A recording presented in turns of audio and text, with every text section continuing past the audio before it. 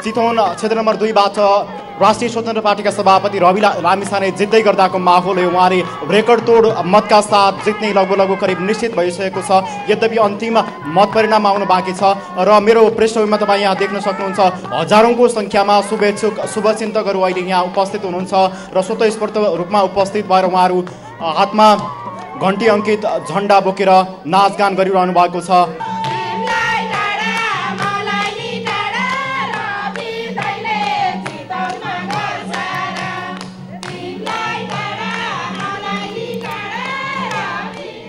हजारौँको सङ्ख्यामा मानिसहरू स्वतस्फूर्त रूपमा यो चितवनको उद्योग वाणिज्य सङ्घको प्रदर्शनी हल बाहिर भित्र चाहिँ मतगणना अहिले पनि जारी छ भने यो उद्योग वाणिज्य सङ्घको हलको प्रदर्शनी हलको बाहिर अहिले मानिसहरू स्वतस्फूर्त रूपमा उपस्थित भएर नाचगान गरिरहनु भएको छ।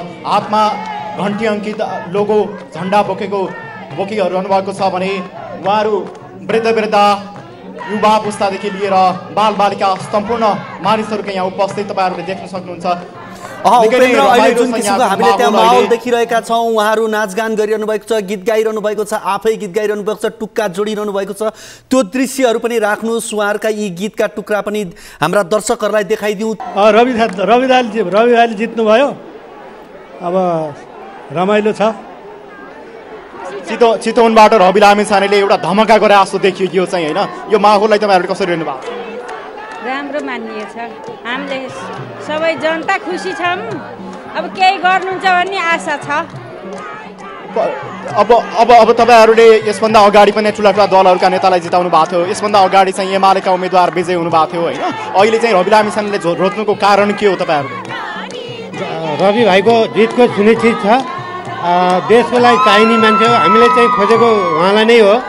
अ, त्यही भएर उहाँले चाहिँ जि- जित्ने एकदम सुनिश्चित हामी एकदम ऊ छौँ। यहाँ नाचगान गरिरहेको दिदीबहिनीहरू पनि मैले देखिरहेको छु। आमा वृद्ध वृद्ध आमाहरू पनि अहिले यहाँ एउटा उत्सवको माहौलमा नाचगान गरिरहनु भएको छ। वृद्ध अवस्थामा पनि उहाँहरू अहिले नाचगानमा रमाउनु भएको छ।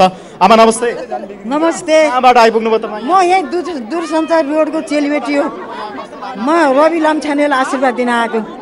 अब के गर्नुहुन्छ जस्तो लाग्छ रवि लामी छाने हजुरको चाहिँ नि उहाँको यहाँ टिकट पाइयो पर्यो भनेपछि म दुई महिनादेखि प्रचारमा हिँडेको थिएँ म। त्यस त्यस कारण म धेरै खुसी छु उहाँको बहुमत ल्याइयो हामी सबै जनताले हालेको बहुमतले। अब आज हामीलाई यो खुसी यो देख्न पाइएकोमा म धेरै खुसी छु बाबु। आमा अब तपाईँ त बुढो भइसक्नु भएको छ कपाल फुलिसकेको छ। यसभन्दा अगाडि दशकौँ तपाईँहरूले दशकौँ राजनीति गरेका नेताहरूलाई जिताउनु भयो होइन? अहिले चाहिँ रवि लामी छाने तपाईँहरू रोज्नुको कारण के हो छान्नुको कारण चाहिँ के हो? छान्नुको कारण के भने उहाँ सत्यवादी हुनुहुन्छ होइन?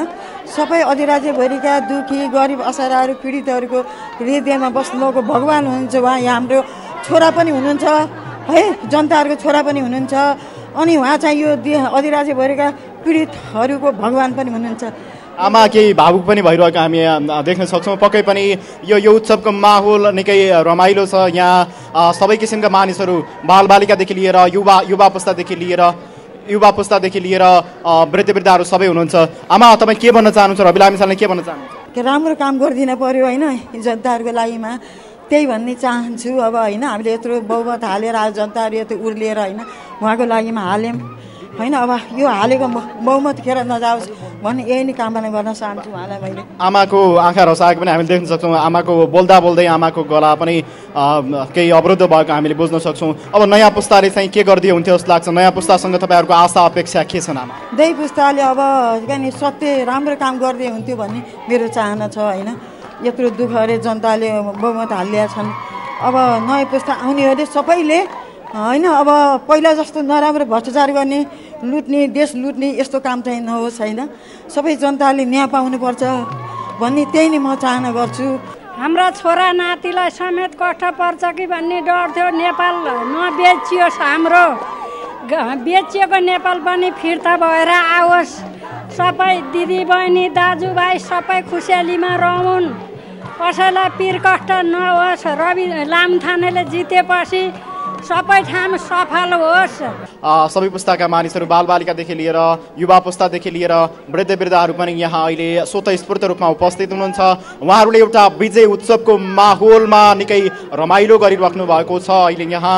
र अब एकछिनमा अब विजय उत्सव नभए पनि आज यहाँ धन्यवाद र्याली विभिन्न ठाउँमा धन्यवाद सभा गर्ने भन्ने कुराहरू छ। र एकछिनमा रवि लामिछाने जो राष्ट्रिय स्वतन्त्र पार्टीका सभापति हुनुहुन्छ उहाँ पनि यो मतगणना स्थलमा आउनुहुनेछ। चितवन दुईमा राष्ट्रिय स्वतन्त्र पार्टीले खास गरी दशकौँदेखि लामो इतिहास बोकेका राजनैतिक दलहरूलाई किसिमले यहाँबाट विस्थापित गरेको अवस्था देखिन्छ र क्लिन स्विप एक किसिमले भन्यो भने चितवनका तिनवटा क्षेत्रमा नै नेपाली कङ्ग्रेस नेकपा एमाले माओवादी केन्द्रहरू चाहिँ यहाँबाट क्लिन स्विप भएको अवस्था छ। खास गरी यहाँका मानिसहरूले नयाँ पुस्ता युवा पुस्ता अब केही हुन्छ कि भनेर उहाँहरूलाई रोज्नु भएको अवस्था छ। यहाँका मानिसहरूसँग अथवा यहाँका मतदाताहरूसँग कुराकानी गर्दाखेरि हामीले चितवनले एक किसिमको सन्देश दिएको छ। त्यो सन्देश के हो भने अब नयाँ पुराना पुस्ताले हाम्रो लागि काम गरेन। पुराना पुस्ताले रोजगारीमा उल्लेखनीय काम गरेन। पुराना पुस्ताले हामीलाई रोजगारी दिन सकेन। लगायतका यावत समस्याहरू जति पनि समस्याहरू छन् यो यो चितवनको क्षेत्र नम्बर दुईले किसिमको सन्देश दिएको छ र यो सन्देशले पक्कै पनि यो पुरै देशव्यापी रूपमा एउटा नयाँ लहरको सिर्जना गरेको हामी बुझ्न सक्छौँ। काठमाडौँ लगायतका केही सहरी क्षेत्रमा पनि राष्ट्रिय स्वतन्त्र पार्टीले जबरजस्त रूपमा आफ्नो उपस्थिति गरेको छ र यो लहर अहिले देशैभरि फैलिएको छ। यो दृश्य तपाईँहरूले हामी चितवनको उद्योग वाणिज्य सङ्घको प्रदर्शनी हल बाहिरबाट देखाइरहेका छौँ। यहाँ अहिले हजारौँ मानिसहरू स्वतस्फूर्त रूपमा उपस्थित हुनुहुन्छ। उहाँहरूले घन्टी अङ्कित झन्डा समातेर फहराइरहनु भएको छ भने स्वतस्फूर्त रूपमा उपस्थित भएर नाचगान गरिरहनु भएको छ। र यो एउटा उत्सवको माहौल निकै रमाइलो यहाँ देख्न सकिन्छ। घन्टीमय भएको नेपालको वातावरणलाई अझ अगाडि उत्साहित रूपमा बनाऊ र युवाहरू बाहिर जाने कुराको अन्त्य हुन्छ भन्ने कुरामा हामी पूर्ण रूपमा सचेत छौँ र ऊ सफल हुन्छ भन्ने कुरामा आशा राखेर सबै यहाँ जम्मा भएका छौँ। यही विषयलाई लिएर मैले चाहिँ यो नेपालको समसामयिक विषयलाई लिएर एउटा गीत भनौँ या त अथवा मिलाएर गायो भने कविता के अरे छोटकरीमा भन्छु है त। मैले चाहिँ यो अहिलेको समसामयिक कुरोलाई लिएर यसरी बनाएको छु। केन्द्रमा रवि सचेत जनता नगरमा बालेन हर्क। केन्द्रमा रवि सचेत जनता नगरमा बालेन हर्क। सक्षम युवाले देश हाँकेमा बल्ल नेपाल बन्छ अब बल्ल नेपाल बन्छ। सिप र ज्ञानको कदर हुन्छ। नजान्नेले तालिम लिन्छ जे जे सिक्छ त्यही बनाउँछ। भूगोल अनुसार विकास हुन्छ। विद्वान पनि देशमै बस्छ ब्रेन ड्रेन बन्द हुन्छ। सम्पदाको संरक्षण हुन्छ। विदेश जाने नि स्वदेशमै आउँछ। केन्द्रमा रवि सचेत जनता नगरमा बालेन हर्क केन्द्रमा रवि सचेत जनता नगरमा बालेन हर्क सक्षम युवाले देश हाँकेमा बल्ल नेपाल बन्छ। सक्षम निकै नै उत्कृष्ट कविता सुनाउनु भयो। यो यो कविता यो कविता तपाईँले कहिले लेख्नु भएको थियो? किन चाहिँ यस्तो यस्तो कविता तपाईँले कसरी फुर्यो? यो कविता तपाईँले किन लेख्नु भएको ए, मैले जस्तो किन भन्दाखेरि देशको माहौल पहिले जस्तो दूरदर्शी मानवले त दसकस पर देख्छ अदूरदर्शी मानवले त ठेस लागेपछि चेत्छ चेत्छ मात्रै त्यसको समाधानको विधि गर्न कहाँ सक्छ भन्ने कुराले मलाई चाहिँ यसले उजागर गर्यो। त्यही अनुसार म चाहिँ यो भित्रको हुम्की जस्तो लाग्छ मलाई। रक्सी मासुमा बिक्ने होइन जनता कसैको झोले होइन। नेपाल आमाका सत्ता सपुत वीरहरूका बीज हौ हामी। बरु मर्नलाई तयारी हुन्छौँ दलालहरूलाई पराजित गर्छौँ। बुलेटबाट होइन हामीले ब्यालेटबाटै देखाइदिन्छौँ। केन्द्रमा रवि सचेत जनता नगरमा बालेन हर्क। केन्द्रमा रवि सचेत जनता नगरमा बालेन हर्क सक्षम युवाले देश हाँकेमा बल्ल नेपाल भन्छ। बल्ल नेपाल भन्छ। वैचारिक युद्धमा अगाडि बढ्न लाखौँ युवा युवा तयारी भएछौँ जित हाम्रो टाढा छैन सत्यताले हार्दैन। विकासको लहर ल्याइदिउँ। सम्पदाको उपयोग गरिदिउँ। परिवारको बिछोड होइन। मिलान गर्ने काम गरौँ। विदेश जानलाई अन्त्य गरिदिउँ। बाबुआमाको सेवा गरिदिउँ। परिवारको साथमै बस्दिउँ। केन्द्रमा रवि सचेत जनता नगरमा बालेन हर्का केन्द्रमा रवि सचेत जनता नगरमा बालेन हर्का सक्षम युवाले देश आगेमा बल्ल नेपाल भन्छ यहाँ बल्ल नेपाल रवि दाई भनेको के हो भने रवि दाई आज आएर किन लाइटमा हुनुभयो यो प्रश्न छ कि छैन हिजो पुराना मान्छे किन दबे आज यी हिजो हिजोका बच्चा किन अघि बढे? चार महिनाको उसमा कसरी यो बिरुवा हुर्क्यो यत्रो? हो कि होइन? तपाईँ हामीले हुर्काएको त हो नि? भनेपछि यसको अर्थ के भयो त? एउटाले लगाएर रवि दाईको हालतै बिगार्ने परे पुगे। रवि दाईलाई के गर्यो त? यो मान्छे ठिक छ भनेर यिनले बाहिर गएका विदेशमा गएर कुना काँचोमा परेका आइमाई केटाकेटी लोग्ने मान्छे बालबच्चा पैसा नभएका के केलाई भनेर पत्रकार नाताले उनले जोगाएर लिएर आए। उनले कल्याण गरे नि। यिनले पनि मारेको भएर यिनले पनि गोली हानेको भए त यिनी पनि हुन्थेनन्। यिनले कल्याण गरेको त भगवान्ले मान्छेले के देख्न पायो? भगवान् भनेको यिनै हुन्। भगवान् भयो यिनी हो होइन आज यिनले गर्दाखेरि के त भन्दा जनताको मन पनि मानिसहरू हर्षले निकै हर्ष यो हर्ष उल्लासको माहौलमा मानिसहरू भावुक पनि भइरहेका छन् आक्रोशित पनि भइरहेका छन्। आक्रोश भावुकता सबै सँगै सँगै यहाँ झल्किरहेको छ। मानिसहरू चाहिँ हातमा घन्टी बोकेर घन्टी अङ्कित लोगो बोकेर यहाँ स्वतस्फूर्त रूपमा उपस्थित हुनुहुन्छ। उहाँहरूले रवि लामिछानेलाई रवि लामिछाने भन्दा पनि रवि दाईको हिसाबमा उहाँहरू लिनुभएको छ। रवि दाई रवि दाई बुढापाकादेखि लिएर बच्चा बच्ची सबैले चाहिँ रवि दाई रवि दाई भनेर भनिराख्नु भएको छ। यो यो माहौल निकै निकै नै रमाइलो माहौल छ। यो यो माहौल हामीलाई तपाईँलाई चितवनको उद्योग वाणिज्य संघको प्रदर्शनी हल बाहिरबाट देखाइरहेका छौँ।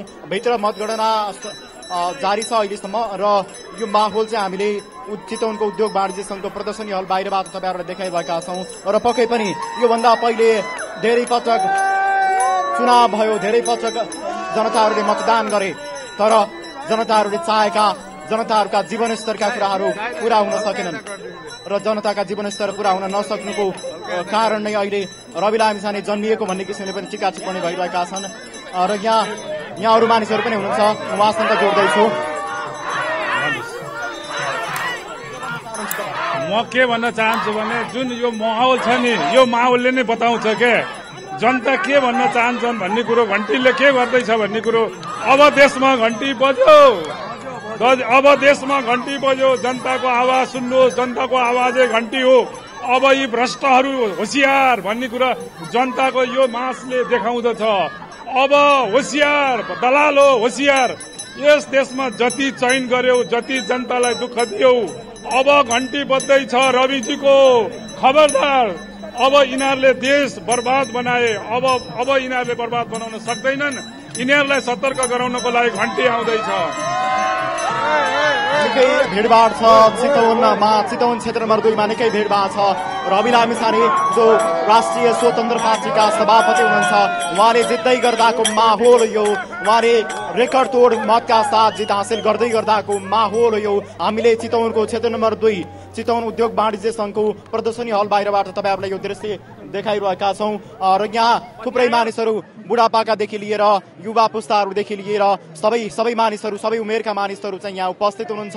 र उहाँहरूले हातमा झन्डा घन्टी अङ्कित झन्डा बोकिरहनु भएको छ भने हातमा घन्टी बोकेर चाहिँ यो यो माहौललाई निकै रमाइलो बनाइराख्नु भएको छ। बुढापाका मानिसहरूले पनि रविदाई रविदाई भनेको त्यो सुन्दाखेरि चाहिँ निकै नै त्यो शब्द आफैमा पनि एउटा उत्सुकताको विषय हो। र बुढापाकाहरूले पनि रविदाई रविदाई भनेर यहाँ नाराबाजी गरिरहनु भएको छ।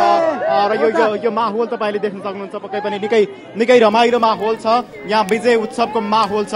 विजय विजय हुँदै गर्दाखेरिको रवि लामिछाने राष्ट्रिय स्वतन्त्र पार्टीबाट उदाउँदै गर्दाखेरिको माहौल हो यो। यो माहौल हामीले तपाईँलाई चितवन क्षेत्र नम्बर दुईबाट देखाइरहेका छौँ। चितवन क्षेत्र नम्बर दुईको उद्योग वाणिज्य सङ्घको प्रदर्शनी हलको बाहिरबाट यो दृश्य तपाईँहरूलाई हामीले प्रत्यक्ष रूपमा देखाइरहेका छौँ। पार्टी स्थापना गरेको पार्टी खोलेको पाँच महिना बित्दा नबित्दै पनि उहाँले अ, चितवन क्षेत्र नम्बर दुईबाट चौतिस हजार एक सय बैसठी मतान्तरले जित्नु भएको छ। कुल उहाँले रवि लामिछानेले उन- उनपचास हजार दुई सय एकसठी मत प्राप्त गर्नुभएको छ। यो जानकारी हामी तपाईँले गराउँदैछौँ। रवि लामिछानेले उनपचास हजार दुई सय एकसट्ठी मत प्राप्त गर्नुभएको छ। त्यसै गरी उहाँका प्रतिस्पर्धी निकटतम प्रतिस्पर्धी नेपाली कङ्ग्रेसका उमेश श्रेष्ठले पन्ध्र हजार उनान्सय मत प्राप्त गरेको अवस्था छ भने नेकपा एमालेका कृष्ण भक्त पोखरेलले चौध हजार छ सय उनपचास मत प्राप्त गर्नुभएको अवस्था छ। र चितवनमा जम्मा जम्मी चौरासी हजार तिन सय पन्ध्र मत खसेको थियो। चौरासी हजार तिन सय पन्ध्र मतमा चितवन क्षेत्र नम्बर दुईबाट रवि लामिछानेले मात्रै उनपचास हजार दुई सय एकसट्ठी मत प्राप्त गर्नुभएको छ। र निकटतम प्रतिस्पर्धी उमेश श्रेष्ठभन्दा रविले चौतिस हजार एक सय बैसठी मतान्तरले जित्नु भएको छ। पक्कै पनि यो अहिलेको निर्वाचन निर्वाचन दुई हजार उनासीको यो सम्भवतः रेकर्ड तोड मतान्तर हो। राजीव हामी तपाईँलाई यो यो जानकारी चाहिँ अहिले यो चितवनको क्षेत्र नम्बर दुईबाट दिइरहेका छौँ।